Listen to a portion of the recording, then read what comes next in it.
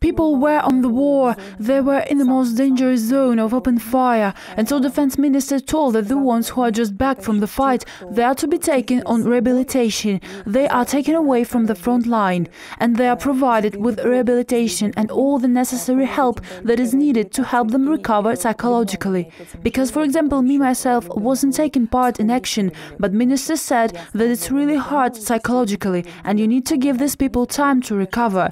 It is of speaking about the ones who are still there. Hopefully they will survive till after the anti-terrorist operation will be finished. One more guy from Chernivtsi was captured and taken prisoner. And what really impressed me when I was at minister's office, that he had this list on the table, list of killed with all the data. Who is this person? Who is left from relatives? Are there a wife, parents, children? If it is military who needs apartment, they're trying to give it to them right away.